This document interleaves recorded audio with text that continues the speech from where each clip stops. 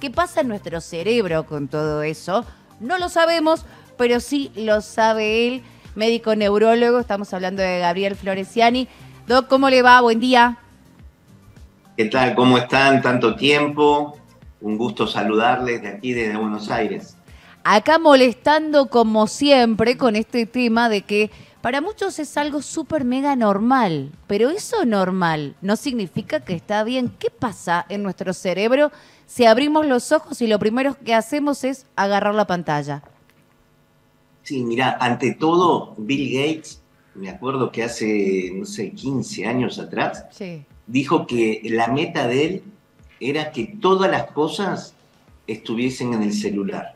Es decir, la alarma, la agenda, todas las cosas. Esa era la idea primordial y creo que no han logrado. Ya lo logró. Entonces, claro, entonces el, primer punto es que prácticamente tenemos todo ahí, las cuentas bancarias, las tarjetas y, demás.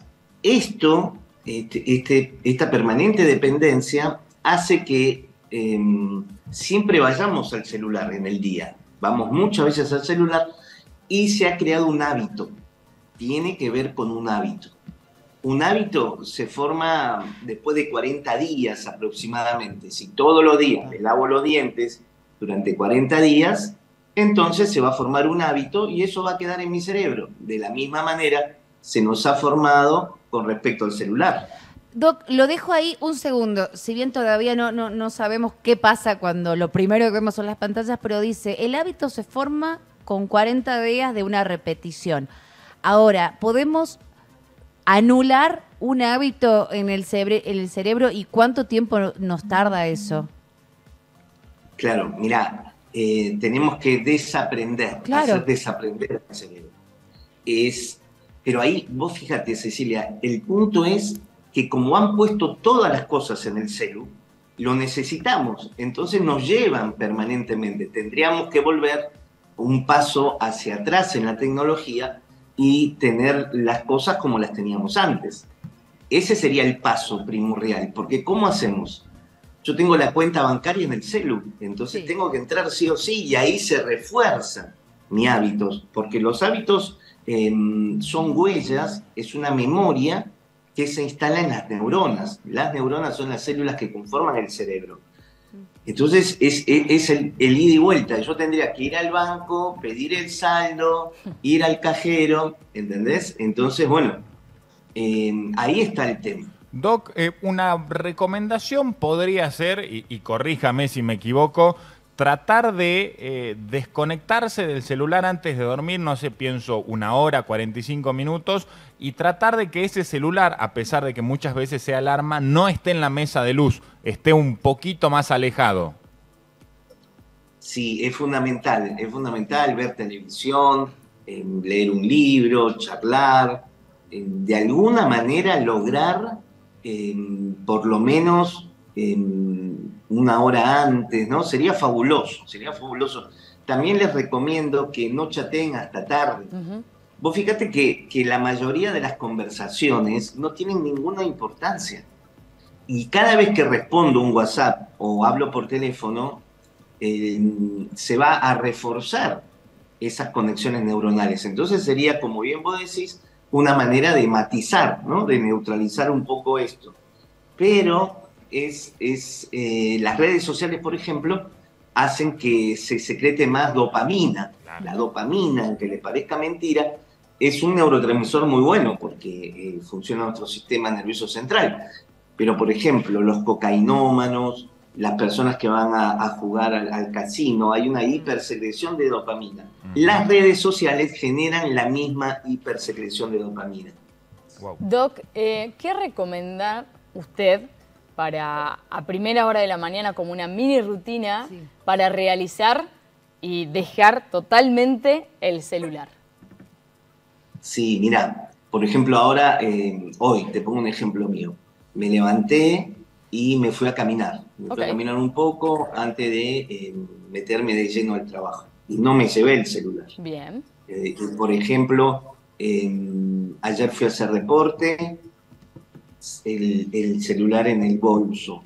Es decir, busco actividades en donde no llevo el celular. Pero vos sabés que es importante no llevarlo, porque si lo tengo, mi hábito, mi impulso va a ser usarlo, claro.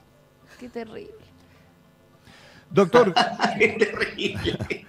doctor, ¿cómo le va? Eh, ¿Qué consecuencias puede tener en el futuro hoy con el tema de los adolescentes, los más chicos, que han cambiado prácticamente eh, eh, su, su- su forma de dormir? Porque habitualmente chatean durante toda la noche, se, van, se levantan o duermen una hora, van al colegio y es como que pierden, digamos, esa, eh, ese descanso por justamente chatear. ¿Qué consecuencias puede llegar a tener en el futuro? ¿O no? Sí, tiene consecuencias. Vos pensás que eh, nuestro cerebro está permanentemente sobrecargado. Yo te diría que la gente grande también tiene la misma costumbre.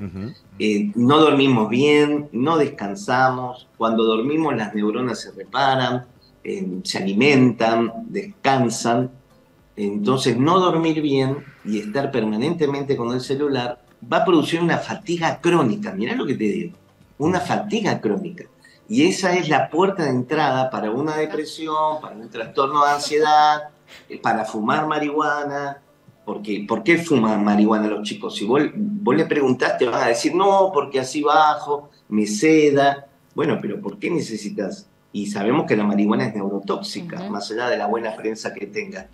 Entonces, eh, respondiendo a tu pregunta, una fatiga crónica, que después lo pagamos caro ¿eh? en términos de salud mental. Eh, Doc, ¿puede ser entonces que, que también el, el celular, eh, independientemente de, de la utilidad que puede tener, porque en principio servía para comunicarnos, después para un montón de, Después para todo. de cuestiones, eh, sea un gran generador de ansiedad? O sea, ¿ayuda a ponernos más ansiosos?